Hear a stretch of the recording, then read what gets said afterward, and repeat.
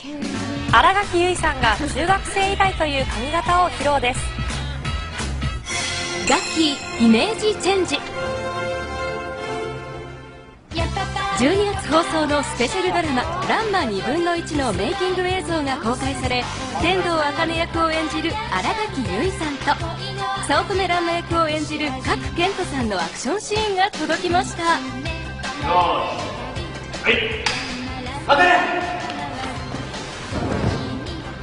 また新垣さんは役作りのためトレードマークのロングヘアをバッサリ。ここまで短いのが中学生ぶり。で全然しなかったです。ザッザッ。あの途中までそのいつもお世話になってる美容師さんに切らせ切らせてくれたんですよ美容師さんが。自分でバッて。カメラ回してもらってイベントみたいで楽しかったです、もうさ。累計発行部数5300万部を超えるメガヒットコミック「ランマ2分の1」が2時間ドラマで実写化されます。ヒロイン茜を演じるのは新垣結衣さん。水をかぶると女に変身するランマ役は賀来賢人さんと夏菜さんが2人1役。アクションあり笑いありのエンターテインメントドラマ撮影中新垣さんに事件が？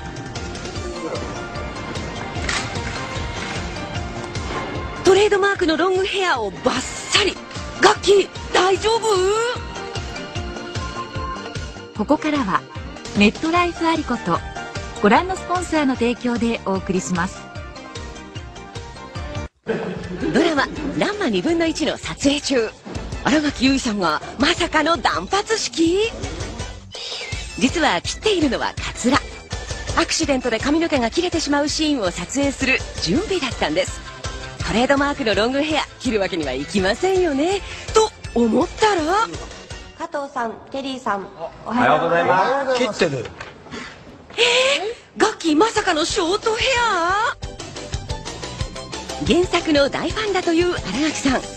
役作りのため撮影前本当にバッサリと髪を切っていたんですどれぐらいここまで短いのは多分中学生ぶりです。全然しなかったです。ザッ。ザッつって。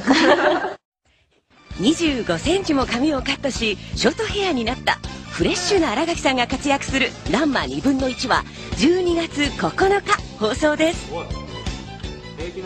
奈良垣さんまさかのあのロングヘアバッサリと切ってたんですね。素晴らしいですね。役作りでもうもう全然躊躇なく切るっていうのはむちゃくちゃ似合うじゃないですか。可愛らしい。中学校以来というこことっちはいいですよ。25センチも切ったというね新垣さん、え今回「ランマ2分の1」が実写化ということでえ12月9日夜7時からの2時間ドラマとなっております。以上人気コミックを実写化した「ランマ2分の1」水をかぶると女性になるランマの変身シーンが公開されましたランマ2分の1はこれまでに累積発行部数5300万部を超える人気コミック。その注目の実写映像がこちら。強い男になりたいんでしょ？ドラマは新垣さん演じる男勝りの格闘少女天童茜と早乙女ランマによるラブコメディ水をかぶると女の子に変わるというランマの変身が見どころになっています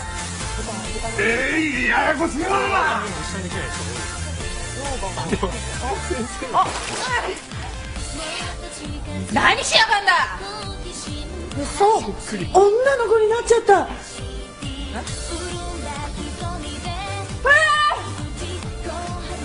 2時間ドラマ「ランマ2分の1」は来月9日放送です